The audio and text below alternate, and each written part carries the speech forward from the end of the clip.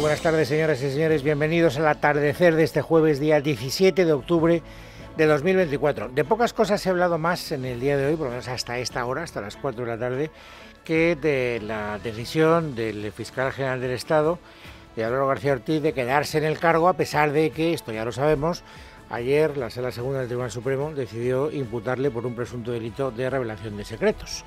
Hoy ha habido un gran debate, un debate en eh, varios campos. Eh, tal vez el más interesante desde mi punto de vista, porque el que se ha producido en el campo político pues ya es perfectamente previsible. El gobierno y el Partido Socialista, incluso los socios del Partido Socialista defendiendo a Álvaro García Ortiz y la oposición pidiéndole desaforadamente que se largue, ahora lo veremos. Pero a mí me interesaba más el debate interno, el debate profesional, el debate entre los propios fiscales.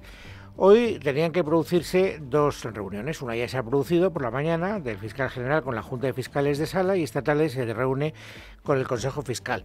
Para hacerlo breve, la Junta de Fiscales de Sala es eh, ese órgano en el que se reúnen los que son fiscales de sala, es decir, los eh, generales de la carrera, por decirlo de alguna manera. Son 38. Y muchos de ellos han sido nombrados o bien por Álvaro García Ortiz o bien por Dolores Delgado. De tal manera que hay una enorme cantidad de fiscales de sala nombrados por ellos y de la misma asociación que ellos, que es la UPF. Aún así, fíjense, en la reunión de esta mañana, 38, ¿eh? 10 no han participado, o bien porque no han ido, 5, o bien porque no han querido hablar, otros 5. Y de los 28 restantes, 13, 13 han pedido que se vaya o que reconsidere su opinión de quedarse a cualquier precio para no dañar a la institución y 15 le han apoyado, los 15 de la UPF. Claro, 13-15, no está mal, no está mal. ¿eh? O sea, contestación eh, no sirve para nada, ¿eh? insisto, no se ha votado eh, y aunque hubiera perdido, digamos, esa votación más o menos entreverada, pues tampoco hubiera pasado nada porque no tenía por qué irse. Y la reunión de esta tarde es más interesante. ¿Por qué? Primero, porque el Consejo Fiscal solo son 6 y 2, 8 y 2, 10 y 1, 11 11. Y estos no son los fiscales de sala nombrados por los fiscales generales, son los fiscales elegidos por la propia carrera fiscal. O sea, son los propios fiscales los que eligen a sus representantes en el Consejo Fiscal. Y fíjense, ahí hay una clara mayoría contraria a la continuidad del señor García Ortiz. Hay seis fiscales de la Asociación de Fiscales, uno de la Asociación Independiente de Fiscales, los siete van a votar, van a votar, no se va a votar van a manifestar previsiblemente su opinión de que se tendría que ir, y luego hay dos de la UPF que van a apoyar al señor García Ortiz y hay dos miembros natos que también apoyarán. Porque claro, al final de esos 11 habrá una votación simulada, y vuelvo a repetir que no se va a votar nada, de 7-4. Una, eh, ¿Y esto por qué lo digo? Pues para que vean ustedes que efectivamente la propia carrera fiscal está súper dividida y está muy molesta por el hecho de que el señor García Ortiz se quiera eh, quedar a cualquier precio. ¿Cuál es el argumento que utilizan prácticamente todos ellos? Que la credibilidad del fiscal general del Estado, la apariencia de neutralidad, queda profundamente e irreversiblemente dañada.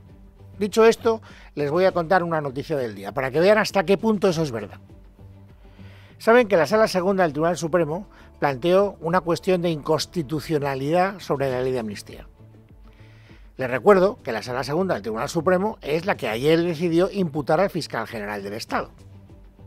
Hoy, el fiscal general del Estado dará a conocer el informe que hace ante el Tribunal Constitucional sobre ese recurso de inconstitucionalidad, esa cuestión de inconstitucionalidad planteada por la Sala Segunda. Y pone a la Sala Segunda a escurrir. Yo no digo que el señor García Ortiz no haya respondido a su leal eh, saber entender. Pues probablemente ha dicho lo que profesionalmente se le ha ocurrido, no quiero poner eso en duda. Pero en este momento, ¿tenemos o no tenemos derecho a dudar que el señor García Ortiz esté, entre comillas, vengando de la segunda, diciendo, ahora te voy a poner aquí a escurrir y voy a decir que el recurso que tú has planteado, que la cuestión que tú has planteado está muy mal planteada?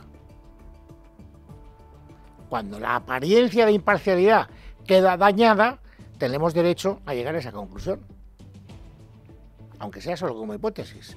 Y lo cierto es que efectivamente el fiscal general del Estado ha puesto a los eh, miembros de la Sala Segunda del Tribunal Supremo, a los que plantearon la cuestión de inconstitucionalidad, como si fueran párvulos en cuestión jurídica. Han dicho que lo han hecho fatal. Miguel Ángel Pérez. Buenas tardes. El fiscal general del Estado, Álvaro García Ortiz, ha solicitado al Tribunal Constitucional tumbar la cuestión de inconstitucionalidad planteada por el Tribunal Supremo contra la ley de amnistía del 1O del gobierno de Pedro Sánchez. En un informe de 49 páginas al que ha tenido acceso Libertad Digital, García Ortiz afirma que la cuestión planteada por el alto tribunal es inadmisible por defectos formales, pero reconoce que si el TC entra en el fondo, contribuirá de forma netamente positiva a reducir la innegable, dice, conflictividad política, social y también jurídica que acompaña a la ley cuestionada. Según el fiscal general, el Supremo no designa los preceptos constitucionales supuestamente vulnerados en su cuestión de inconstitucionalidad. Bueno, esto es lo que nos eh, cuenta Miguel Ángel Pérez. Y vuelvo a repetir, no deja de ser llamativo que ahora el fiscal general hable en esos términos de la cuestión presentada por la Sala Segunda del Tribunal Supremo. Dicho lo cual, dicho lo cual, a mí, de lo que hoy ha ocurrido, lo que más me preocupa es eh, la deriva que están tomando las declaraciones de los miembros del gobierno para defender al señor García Ortiz. Porque eh, me parece que están corriendo un riesgo excesivo de colocar al Tribunal Supremo, a la Sala Segunda y por lo tanto a la justicia ante la opinión pública en una situación muy, muy comprometida. Fíjese lo que ha dicho, por ejemplo, vamos a escuchar la opinión de tres ministros. Han hablado más, ¿eh? Pero para no hacerlo eterno, tres. Pilar Alegría. Si me permiten, yo desde luego, con, el máximo respeto que me producen todas las resoluciones judiciales, eh, también les tengo que decir que en este caso eh, eh, siento una profunda preocupación porque, porque ciertas decisiones judiciales puedan, si me permiten, socavar. Inteligencia artificial, cántame un temazo. El plan ahorro inteligente de Iberdrola elige automáticamente tus ocho horas las 8 horas de mayor consumo y les aplica el precio más bajo. ¡Qué oportuno! ¿Y ahora sin hacer nada? Esto sí es un hit. Contrátalo en el 924 24 24 o en iberdrola.es. Y ahora además, llévate 100 euros. Llama ya al 924 24 24. Iberdrola, por ti, por el planeta. Empresa colaboradora con el programa Universo Mujer. También la imagen de la justicia en nuestro país. O sea que la decisión que toma la Sala Segunda del Tribunal Supremo puede socavar la imagen de la justicia según Pilar Alegría, que es una jurista de reconocido prestigio. Es la portavoz del gobierno. Es la portavoz del gobierno. Escuchen a la ministra de Seguridad Social, Elma Sainz. Mi respaldo a un extraordinario funcionario público que lo que ha hecho ha sido decir la verdad. Por eso me parece que esto eh, bueno, pues lo que hace es contribuir a un desprestigio de las instituciones de nuestro Estado de Derecho y desde luego yo no voy a estar en ese sitio, yo me coloco siempre al lado del respeto a las instituciones y respaldando a una labor de un extraordinario funcionario público como es el fiscal general del Estado. Claro, porque eh, el Tribunal Supremo no es una institución que merezca ser eh, mm, respaldada ¿no? o defendida, señora Sainz. Es decir, para usted, para defender el prestigio del fiscal general del Estado, socava usted el prestigio del Tribunal Supremo. ¿Cómo es eso? O sea, usted no quiere jugar a desprestigiar las instituciones y sin, y sin embargo pone al Tribunal Supremo a los pies de los caballos para defender al fiscal general del Estado. Explíquemelo mejor, porque no lo entiendo. No entiendo a los ministros que salen y que colocan a los pies de los caballos a, las, a los magistrados del Tribunal Supremo, hablando de lo que es la Administración de Justicia. No lo entiendo. Escuchen lo que ha dicho Óscar López. Alberto Núñez Fijó, que llegó hace dos años para construir una alternativa, ha sido absolutamente incapaz de dar una alternativa a este país y ha decidido subcontratar la oposición en manos de la justicia. Y está haciendo cosas que no son muy diferentes de lo que hacen los partidos de ultraderecha. Yo me gustaría que la justicia sea justa, porque seguramente muy poca gente pueda entender que se persiga a quien desmonta un bulo, a quien persigue a los delincuentes y se ampare el delincuente. Conclusión el Tribunal Supremo no es justo, toma decisiones que nadie entiende y además se deja subcontratar por el principal partido de la oposición. Es Correa de Transmisión. Está al servicio, espurio, de un partido político. Entonces lo que dice otro miembro del gobierno. De verdad, de verdad, en serio. ¿eh? Yo no sé si el Consejo General del Poder Judicial va a intervenir y va a pedir un poco de moderación en las declaraciones de los ministros, pero que estamos en una deriva muy peligrosa, no tengo la más mínima duda. Y que han convertido a la sala segunda en el objetivo de todos los dardos, no tengo ninguna duda, ninguna duda. Y que esto tendrá consecuencias Desde luego, para el prestigio institucional de la Administración de Justicia, no tengo ninguna duda. Que los ministros están ahí jugando sin resto, pues tampoco. Esa es la sensación que yo tengo, francamente. Es más, siguen diciendo cosas que no son verdad, pero es que mienten incluso para desmentir presuntas mentiras. Escuchen otra vez a Óscar López. Creo que el fiscal general del Estado combatió un bulo. Tiene que contar a la opinión pública que no es verdad, que no es verdad que la fiscalía se haya dirigido a él para pactar nada, como trataba de instalar el señor eh, Rodríguez la señora Ayuso. No es verdad, era justo al revés. La pareja de la señora Ayuso estaba reconociendo un delito y tratando de pactar. Esos son los hechos, esa es la verdad. No, no, esa no es la verdad y esos no son los hechos, señor López. Se lo digo con toda franqueza. Con toda franqueza. No es verdad que fuera un bulo lo que publicó el diario del Mundo a las 21 y 34 eh, de la tarde del día pasado 13 de marzo.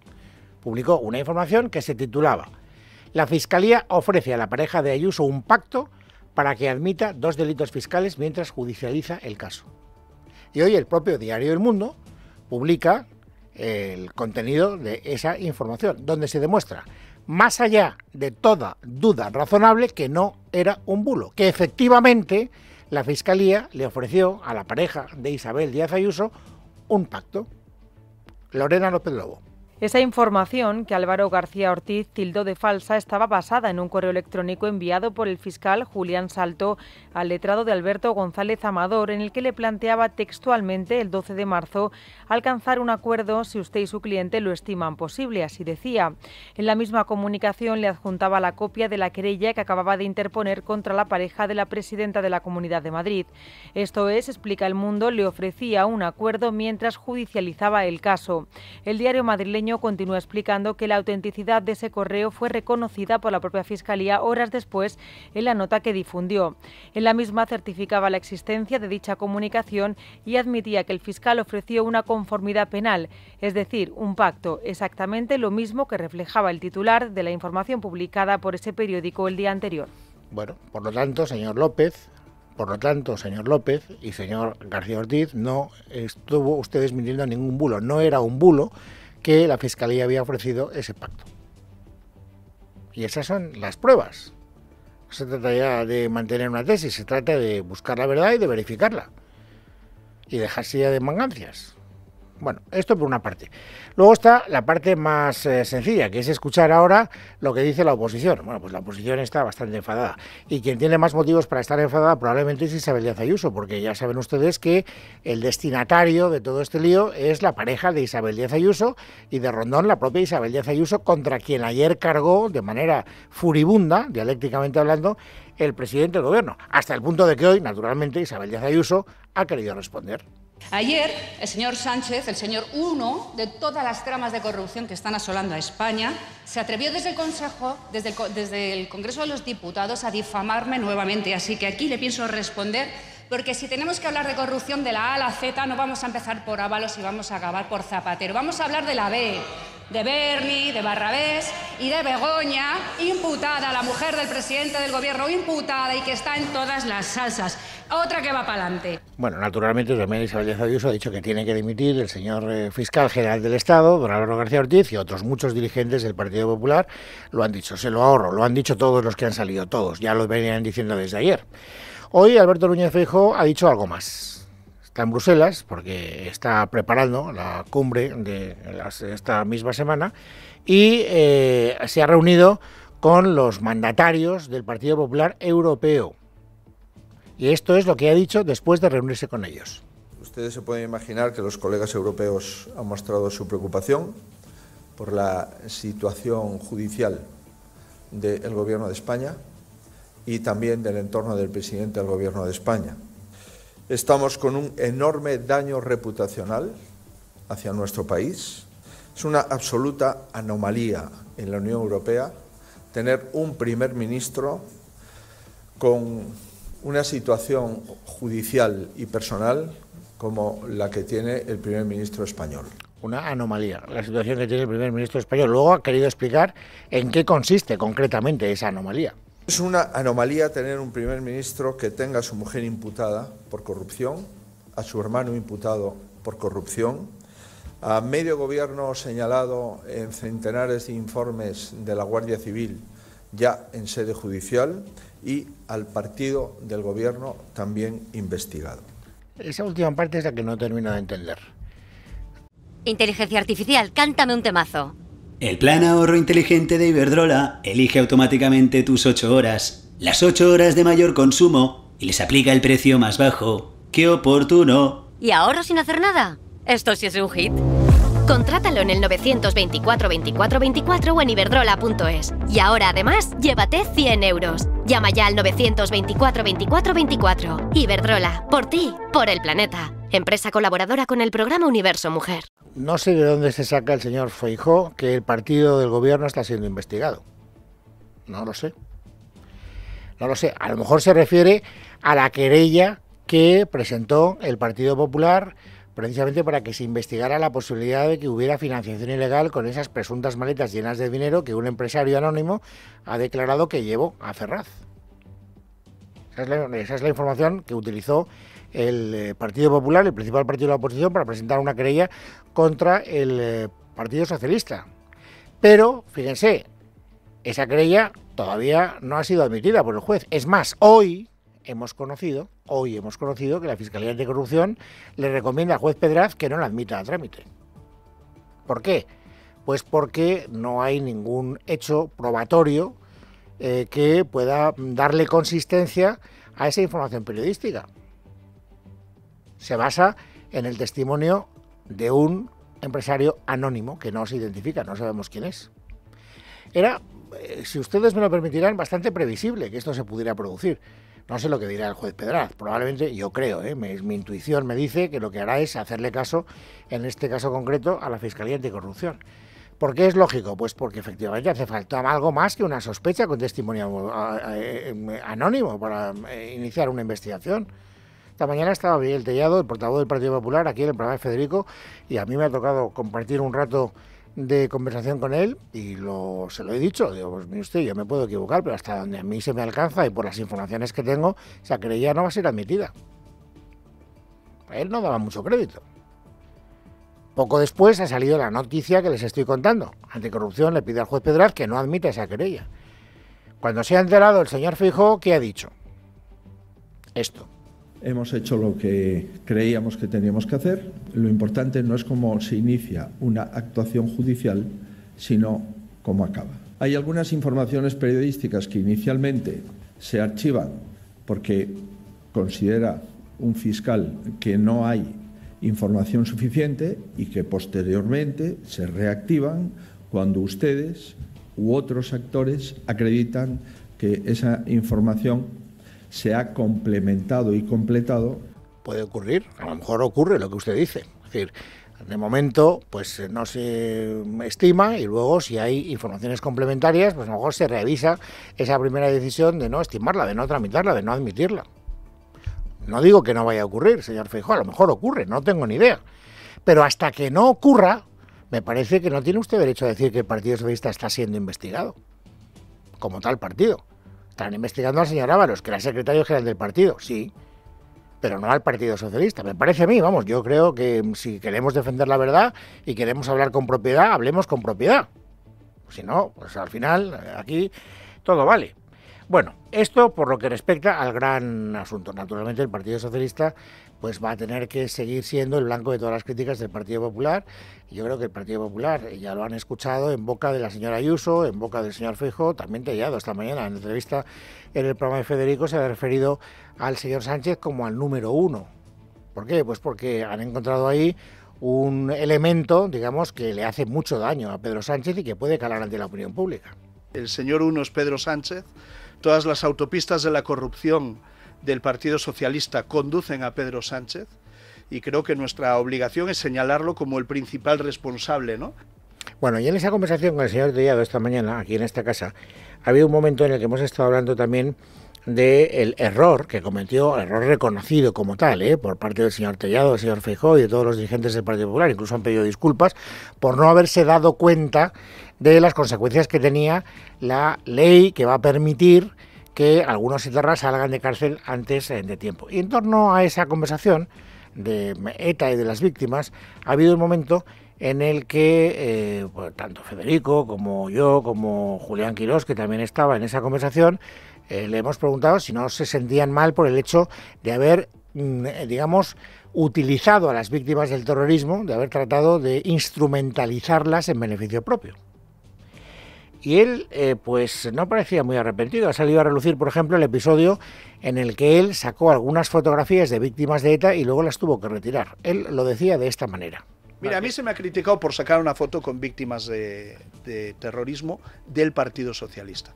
Yo he retirado esa foto de mis redes sociales por respeto a las víctimas de terrorismo que se hayan podido sentir ofendidas. Pero la intención de mis actos yo no la retiro, que es enfrentar al Partido Socialista a su propia miseria moral. El problema es que para hablar de la miseria moral del adversario, uno no puede exhibir miseria moral, señor Tellado y para las víctimas del terrorismo, no para las víctimas del Partido Socialista, para todas las víctimas, lo que usted hizo, esa instrumentalización, también es un acto de miseria moral. Y no lo digo yo, lo dice la presidencia de la AVT, la presidenta de la AVT, Maite Araluce. Bueno, me parece tremendo. Me parece tremendo y me parece una falta de respeto a las víctimas. Eh, a ver, para las víctimas del terrorismo, el ver una foto de nuestro familiar eh, asesinado, utilizándola políticamente y riéndose al mostrar la foto, eh, bueno, nos genera un dolor increíble. A lo mejor debería usted escuchar estas opiniones antes de volver a mantener ese tipo de conductas, me parece, me parece a mí.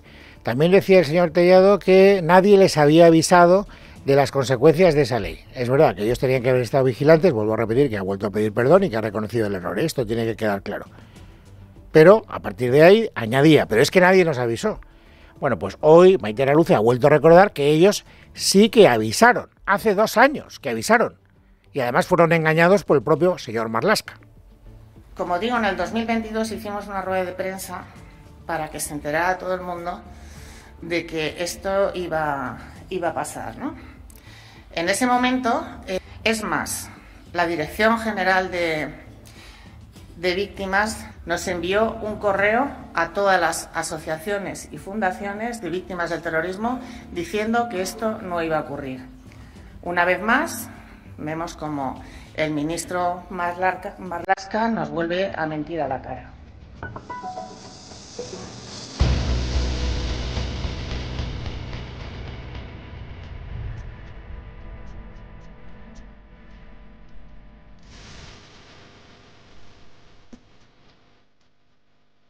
Jueves 17 de octubre de 2024. Vamos a menos ahora a completar el paisaje informativo sobresaliente del día. Esther Nieto, bienvenida, buenas tardes. Buenas tardes, Luis. El Banco Central Europeo ha pisado el acelerador y ha vuelto a recortar este jueves los tipos de interés en 25 puntos básicos hasta el 3,25% con el objetivo de dar oxígeno a una economía que no termina de despegar.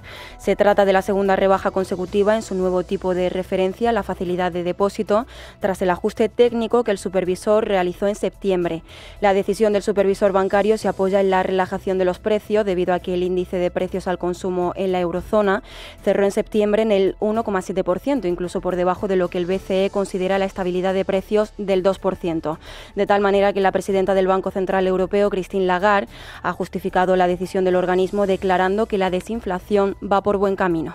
El Consejo de Gobierno ha decidido hoy reducir los tres tipos de interés clave del Banco Central Europeo en 25 puntos básicos, en particular la decisión de reducir el tipo de la facilidad de depósito, el tipo mediante el cual dirigimos la postura de la política monetaria, se basa en nuestra evaluación estatal actualizada de las perspectivas de inflación, la dinámica de la inflación subyacente y la solidez de la transmisión de la política monetaria.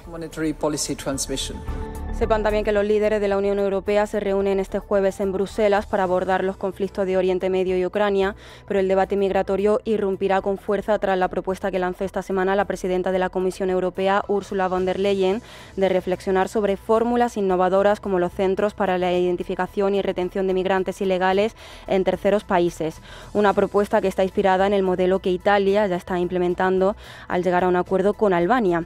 Once líderes comunitarios son favorables a esta iniciativa, mientras España se opone.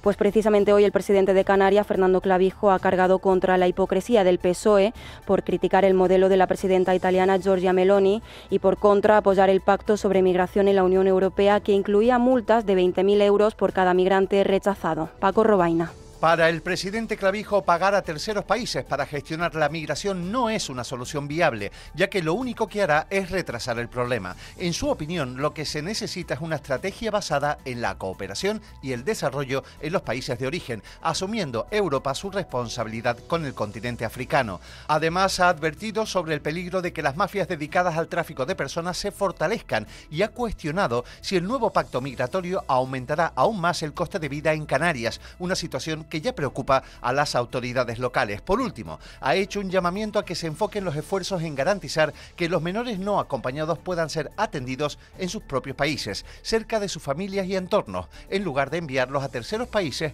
algo que, según el presidente Clavijo, no soluciona el problema de fondo. Y también con respecto a la crisis migratoria hay novedades sobre la intención por parte del Gobierno de acoger inmigrantes en el aeropuerto de Ciudad Real.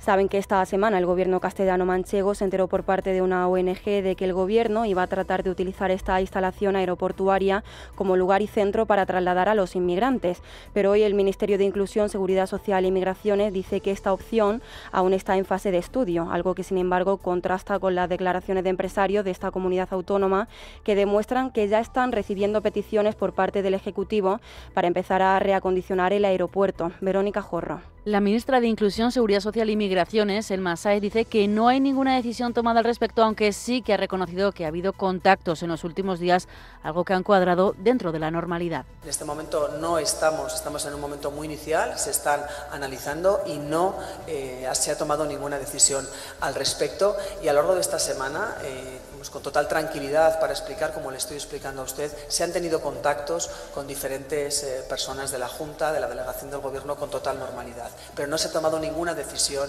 en esta cuestión. Sin embargo, el presidente de la Cámara de Comercio de Ciudad Real, José Luis Ruiz, ha asegurado que muchos empresarios ya han mostrado su preocupación por esta situación y que algunos incluso han recibido ofertas para prestar servicios en estas instalaciones. A estos les ha recomendado no colaborar en el proyecto que he recibido bastantes llamadas preguntando por el tema, preguntando por la, situación, incluso empresarios que me han dicho que han recibido oferta del aeropuerto para realizar servicios en, en, lo que van a montar allí. Y es que hoy hemos conocido que el aeropuerto de Ciudad Real se ha dirigido al Consorcio de Gestión de Residuos Sólidos Urbanos, gestionado por la Diputación Provincial, para solicitar presupuesto de cara a lo que denomina un proyecto grande que consistiría en conseguir ocho contenedores de residuos orgánicos, seis más azules y otros seis amarillos en sus instalaciones.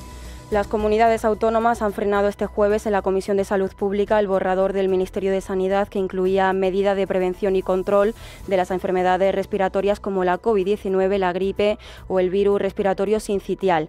Entre otras cuestiones se contemplaba la vuelta a las mascarillas en caso de repunte de las infecciones y agravamiento de la situación epidemiológica, pero no ha habido acuerdo. Ministerio y comunidades autónomas se han citado para una nueva reunión extraordinaria el próximo mes de noviembre en la que intentarán acercar posturas. Y en lo deportivo, tras los incidentes del derby madrileño el pasado 29 de septiembre, sepan que el Comité de Competición de la Real Federación Española de Fútbol ha reducido de tres partidos a uno el cierre parcial del fondo sur del Estadio Metropolitano. El Comité de Apelación ha aceptado parcialmente el recurso del Atlético de Madrid, en el que alegaba que el castigo era desproporcionado en relación a los hechos que tuvieron lugar. Al cierre parcial por un partido se suma también una multa económica de 3.000 euros para el club rojo y blanco, que es una cifra muy por debajo de los 65.000 euros inicialmente propuestos. Y sepan también que fuera de nuestras fronteras, Israel, el ejército de Israel, ha dado por muerto al líder de Hamas, Yahya Sinwar. El anuncio se produce poco después de que el ejército anunciara haber bombardeado una escuela en el campamento de refugiados de Jabalia, supuestamente usada como centro de mando y control de la yihad y de Hamas, en un ataque en el que ya han muerto al menos 28 personas y, otros, y otras 150 han resultado heridas. Y nos vamos hasta Venezuela porque el presidente Nicolás Maduro lleva días asegurando que la líder opositora María Corina Machado ha seguido los pasos del presidente electo Edmundo González y ha abandonado el país exiliándose a España. Sin embargo, la propia Machado se ha encargado de negarlo rotundamente, confirmando que sigue en Venezuela. Martín Higuera, buenas tardes. Buenas tardes. Ese miércoles el dictador Nicolás Maduro volvió a utilizar una de sus estrategias para intentar desprestigiar a la oposición y esta vez lanzó una noticia falsa acerca de la supuesta huida de Venezuela de Marcolina Machado. Se fue, se fue, se fue.